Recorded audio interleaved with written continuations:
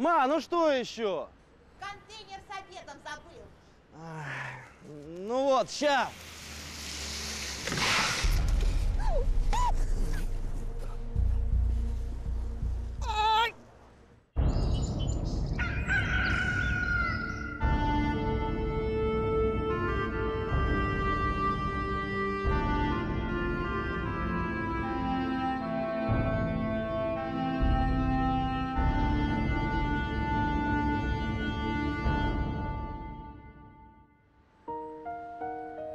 Георгию Кузнецову было уже за 30, но он все еще оставался холостяком.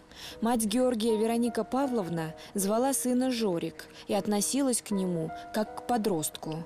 Жорик не тяготился этим и был всем доволен. Но в последнее время его стали преследовать неудачи. Вероника Павловна узнала от знакомых о бабушке и отправила сына к нам. Здравствуйте, бабушка. Здравствуй, Георгий. Садись. Да рассказывай, с чем пришел.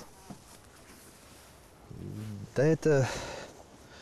Это не я, это мать меня послала. Я, если честно признаться, в это во все не очень-то и верю. Ну, чтобы ей спокойнее было, вот я пришел.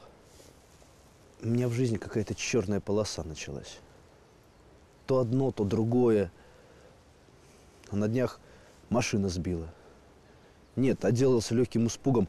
А что, если в следующий раз мне так не повезет? На работе заказов практически нет. Я технику ремонтирую. А, У меня и свои клиенты были. Раньше не успевал даже всех обслужить, а теперь два заказа в неделю и то хорошо. А еще с женщинами мне как-то не клеится.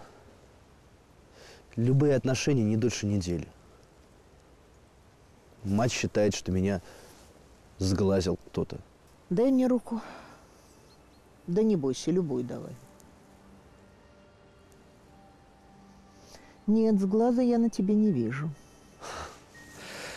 Но я так и знал, что у меня все хорошо. Чтобы у тебя все хорошо было, тебе нужно перестать с полпути возвращаться. Как это? А вот так. Ты часто с полдороги возвращаешься, а это плохая примета. В жизни у тебя ничего до конца получаться не будет. Так и проживешь серединка на половинку. Да, бывает, из дома выхожу, позабуду чего-нибудь, возвращаюсь. Если хочешь жизнь наладить, всегда до конца иди. Спасибо, бабушка. Спасибо, теперь буду знать. И еще. Всю следующую неделю тебе лифтом лучше не пользоваться. Иначе ждут тебя неприятности. Жорик любил свою работу. С клиентами он был приветлив, и они часто рекомендовали его знакомым. Но, несмотря на это, за целую неделю это был первый вызов. У меня любая техника оживает. А ваш холодильник проработает еще долгие-долгие годы, будьте уверены. Как я вам благодарна, вот спасибо. А то новый холодильник, это же так дорого. В наше время все дорого. Вы, главное, его раз в месяц размораживать не забывайте. Ну и морозилку сильно не перегружайте. Я поняла. Сколько я вам должна? Тысячу. Вот, пожалуйста. Мгм, Спасибо.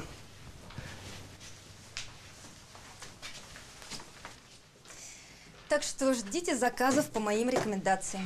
Друзей у меня много, а у всех рано или поздно что-нибудь доломается. Ну, это уж точно. А я ведь не только холодильник, я вообще любую технику починить могу. Ой, простите, это по работе. Алло? А, Жорик, ты еще не освободился? У нас заказ срочный на стиральную машину. О, как раз выхожу от заказчика. А ты успеешь? Или другому мастеру отдать? Нет, нет, нет, успею. Говорите адрес. Кантемировская, 47, пятый этаж. Квартира 22. Ага, Кантемировская, 47, это рядом. Я через полчаса буду. Угу.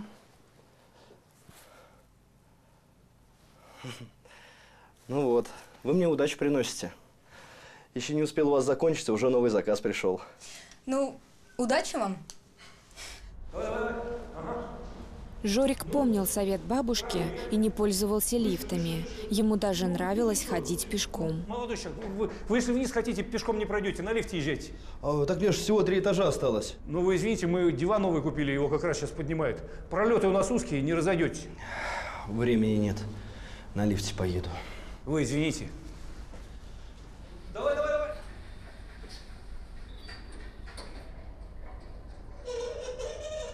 Этажом ниже по лестнице поднимали габаритную мебель. Жорику было не пройти, ему все-таки пришлось воспользоваться лифтом, чтобы спуститься вниз. Жорик не хотел игнорировать совет бабы Нины, но других вариантов не нашел. Когда двери лифта закрылись, произошел скачок напряжения. Лифт застрял между этажами, а Жорик оказался заблокирован внутри. Алло! Алло, диспетчер! Алло! Диспетчер, слушаю. Алло, девушка, я в лифте застрял. По какому адресу? Адмиралтейская, 16. Да что же за день сегодня такой? Уже пятый лифт на моем районе из строя выходит. Вам придется подождать. Да какое ждать, девушка? У меня работа, меня люди ждут. Уже два часа Жорик сидел в лифте. Он даже не мог связаться с диспетчером и предупредить, что не сможет поехать на вызов, так как в лифте не было сигнала. Жорик не знал, что ему делать. Да, да, да, Люся! Люся, Люся, это Жорик, Георгий! Я сегодня у вас холодильник чинил, а потом вышел и здесь уже два часа как в лифте застрял. Я поняла. Какой ужас. А вы звонили диспетчеру? Зазвонил я диспетчерам, у них все мастера заняты, неизвестно, когда освободятся. Вот беда. А, Послушайте, у вас, у вас мобильный телефон с собой есть? Да, конечно. Позвоните, пожалуйста, мне на работу. Э, Скажите, чтобы заказ отменили, а то здесь связь не ловит. Диктуйте номер. 232-5858. Хорошо, я сейчас позвоню. Вы тут держитесь, и мастера скоро приедут. Хорошо, спасибо большое вам. Спасибо. Ты в курсе? Жорик просидел в лифте до самого вечера. Люся поддерживала его как могла. Домой он попал уже совсем поздно. Звонили из твоей конторы. Тебя уволили. Как уволили? Ты взял какой-то срочный заказ. И не явился туда. И не отзвонился, что не придешь. Мама, ну ты же знаешь, что это все не по моей вине. Я же в лифте застрял, там связи не было. Потом я попросил девушку, у которой перед этим был на заказе. Она должна была позвонить. Ну, значит, не позвонила. Завтра ты должен отнести весь инструмент.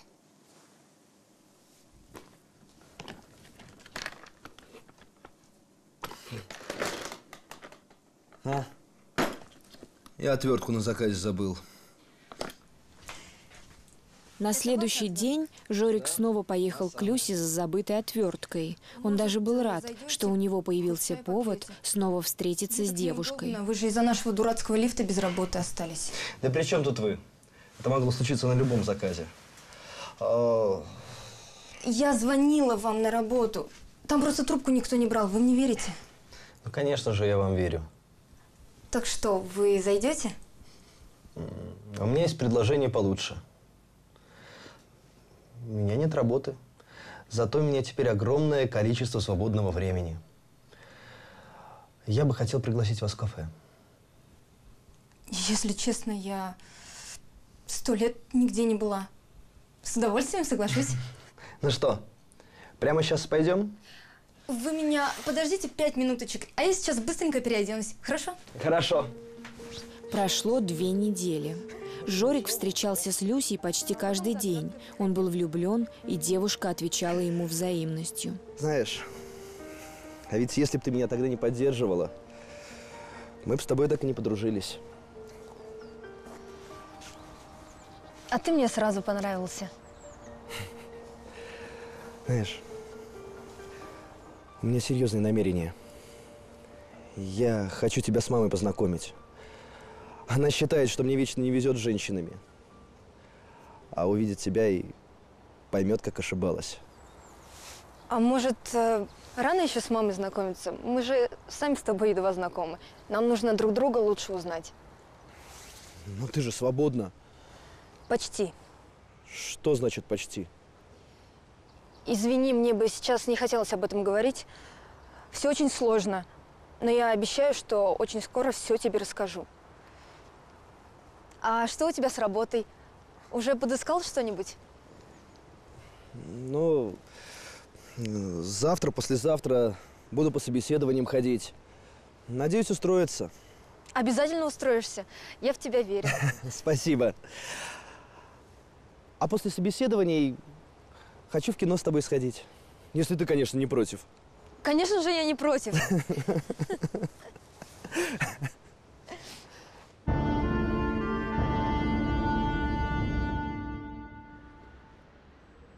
Прошла неделя.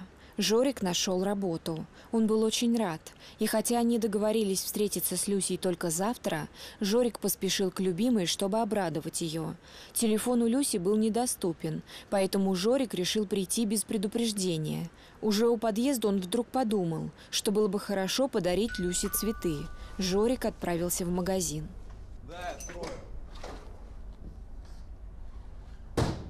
Кузнецов, ты что ли? Ты чё ко мне приперся? Соскучился? Ты что, здесь живешь, что ли? Вообще, да, мы с женой тут давно живем. А, или ты не ко мне, ты к ней пришел. Может, ты за моей женой приударить решил? М? Люсь, иди сюда. Люська! Этого знаешь? Смотри. Пришел жених с цветами. Отвечай, только честно говори, я ж все равно узнаю. Сережа, этот парень к нам приходил чинить холодильник, а потом начал меня доставать. Ходит за мной с цветами, на свидание приглашает. Но я с ним никуда не ходила, и у нас с ним ничего не было. Точно не было? Или врешь? Клянусь тебе, что у нас с ним ничего не было. Да и стал бы я тебе с таким изменять. Ты же прекрасно знаешь, что я только тебя люблю. Что ты такое говоришь? Мы ж... Что мы? Хватит за мной ходить, не видишь, у меня муж есть. Все, я все понял. Люсь, ты домой иди. Я с ним сам разберусь. Сереж, да пусть он идет. Ты его только не трогай. Домой иди.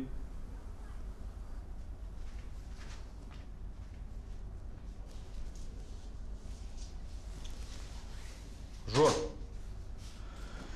так вроде тебя мамка называла в школе. Я тебя еще в школе терпеть не мог. Мало тебе пендалей надавал. Ты теперь опять в моей жизни возник, да? Ну, во-первых, для тебя не Жора, а Георгий. А во-вторых, твоя жена меня любит. Она сама мне об этом говорила. Мало что баба дура сказала. М? Я с своей женой сам разберусь. Ты давай. Проваливай, пока ноги целы. Да пошел ты. А я пойду. Я пойду. Я сейчас так пойду.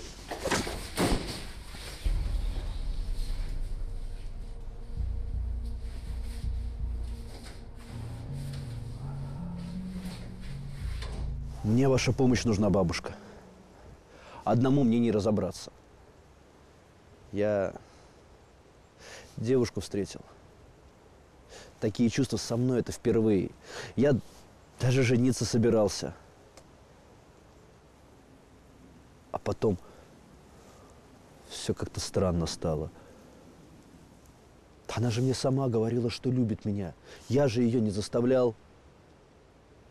А тут прихожу к ней, она оказывается замужем. А муж ее, надо так умудриться. Муж ее это мой одноклассник. Мы с ним со школы еще враги. А главное, Люся ведет себя так, словно мы с ней не знакомы вовсе. Говорит, что я ее преследую. А может, а может, это муж ее обижает? Этот может. Он и в школе еще хулиганом был. И со мной он руки свои распустил. Переживаю я за Люсю. Фотографии этой девушки у тебя есть? Ах, да, да, да, есть. Я в интернете прочитал. Вот, из телефона распечатал.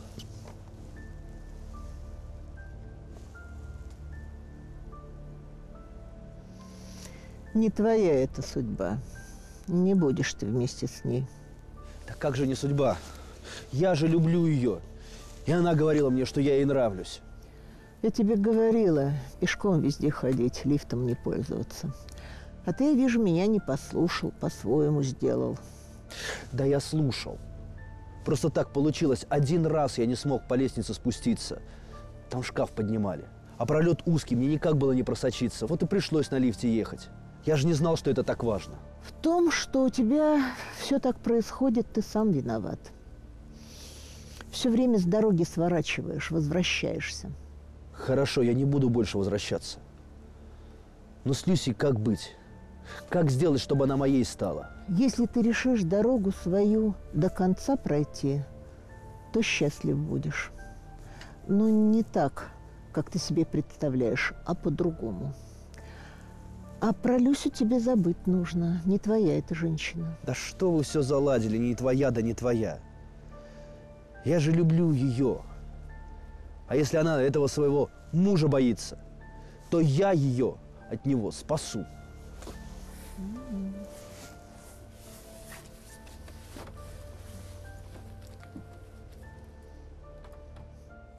Прошло несколько дней. Жорик страдал без Люси. Пытался дозвониться ей, чтобы поговорить, но Люси не отвечала на его звонки. А снова идти к ней Жорик не решался. Тебе чего здесь? Разговор есть. Раник Павловна, как же вы меня не знали, а? Это ж Серега Звягинцев, мы с вашим Жоркой-то вместе учились в одном классе. Ну, не знаю, трудно во взрослом мужчине узнать ребенка. И потом вы в школе э, не дружили, дрались даже.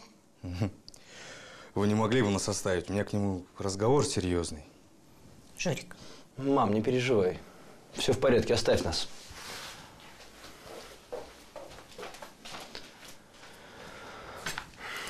Ну, чего тебе? Я смотрю, ты к Люське к моей прикипел. А тебе-то что с этого? Ну, как что? У меня к тебе деловое предложение. Я готов от нее отказаться, но тебе нужно будет за это заплатить. Тысяч двести, думаю, мне хватит. Да ты с ума сошел! Люся тебе не вещь, чтобы ей торговаться. Да если она захочет, она сама подаст на развод и уйдет от себя. Пускай подает. Только я в таком случае осужу у нее сына. Как ты думаешь, будет она счастлива с тобой в таком случае? А у нее есть сын. А ты не в курсе? Да, у нас есть сын. Ему пять лет. Да ни один суд не пойдет против матери. Только не в нашем случае. У Люси нет ни квартиры, ни работы. Еще и по мужикам бегает. А у меня есть связи. Не, ну если ты готов заплатить, то я готов отпустить Люсю с сыном. В общем, я тебе сказал, а ты думай. У тебя три дня.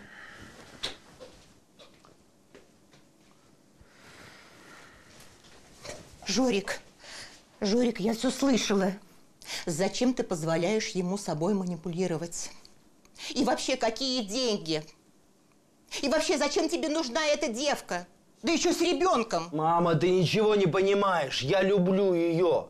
Этот подлец манипулирует ей с помощью сына. И держит возле себя. Мама, мама, у нас же есть эти деньги. Есть. Но ты же знаешь, что я коплю их на дачу. Дачу мы купим. Мама, Люсе сейчас моя помощь нужнее. Дай мне эти деньги. Или я возьму кредит.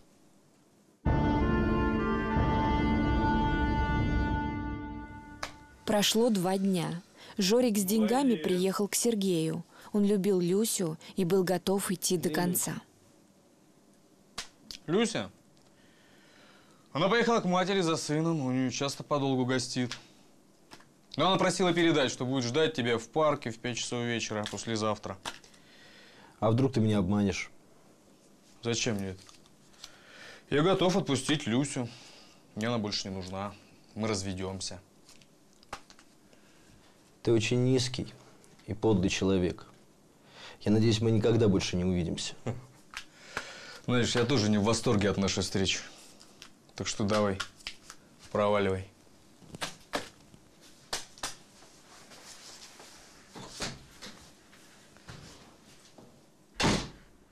Через два дня Жорик ждал Люсю в парке. Люся! Люся, Люся, Люся, Люся, Люся, как же я по тебе соскучился, как же я тебя люблю. Не надо. Люсь, Люсь, нам же теперь больше никто не помешает. Мы теперь сможем быть вместе. Жорик, ты хороший и милый парень. Но я люблю своего мужа и останусь с ним. Как? Ты не знаешь, мы же с Сергеем все решили. А Он даст тебе развод и отпустит тебя без проблем. Никакого развода не будет. Мы с мужем любим друг друга и не собираемся расставаться. А то, что мы с тобой пару раз в кафе да в кино сходили, это ничего не значит. Но я же твоему мужу за тебя заплатил. Как заплатил? А ты что, думаешь, любовь продается? Он сам пришел, предложил. Я больше не хочу тебя слушать. Ты все специально выдумываешь, но у тебя ничего не выйдет. Нам больше не стоит встречаться, и лучше больше за мной не ходи. А то я на тебя в полицию заявлю за преследование. Люся! Да что ты за дурак-то такой? Я люблю тебя. Я все сделаю ради тебя. Да что, думаешь, деньги отдала, я сразу твоя стала? А вот и не угадал. Это ловушка, Жорик. Чем ты говоришь? Какая ловушка? А мы просто с мужем иногда так подрабатываем. Идиотов вроде тебя много, вот они и ведутся на меня. А Сережа им якобы потом меня продает. И они думают, что почти увели меня из семьи, но почти не считается. Вот и ты так попался. Что ты такое говоришь? Да мне просто жалко тебя стало, вот решила правду сказать. А ты впредь будь умнее. Так что отстань от меня. И если ты решишь на нас заявить, то тебе только хуже будет. Почему? Почему вы не предупредили меня, что Люся и муж ее мошенники? Она никогда не любила меня. Она использовала только, чтобы заработать на мне. Деньги не жалей, их не вернуть. Я тебе говорила, что женщину эту забыть нужно. Ты не послушал. Но дорогу ты до конца прошел. Счастье тебя в конце дороги ждет. Да я уже запутался в этих ваших дорогах. Куда идти, куда не идти. Главное теперь никуда не сворачивать. И счастье свое встретишь, очень скоро встретишь. А теперь ступай. Прошло три недели. Жорик! Жорик, вернись, ты ключи дома забыл. Да ничего, мам.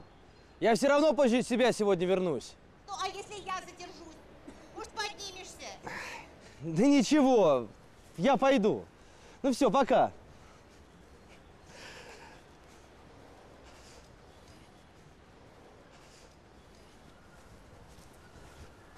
Молодой человек, извините. Да? Чем я могу быть вам полезен? А вы здесь живете? Да. Я уже битый час по этим дворам хожу. Никак не могу найти дом номер 8 по Чкаловской улице. Так это же здесь, рядом. А у нас просто дома местами перепутаны. Если хотите, могу вас проводить. Если вам не трудно. Да не трудно, конечно. Меня, кстати, Жорик зовут. Катя. Очень приятно, Катя. Ну что? Жорик и Катя стали встречаться. Через месяц Жорик познакомил девушку с матерью. Кате очень понравилась Веронике Павловне. Она мечтает, что Жорик и Катя поженятся. Жорик устроился на новую работу и хорошо зарабатывает. Он поставил себе цель – купить матери дачу. Бабушка говорит, что возвращаться с дороги – плохая примета. Так можно в серьезные неприятности попасть.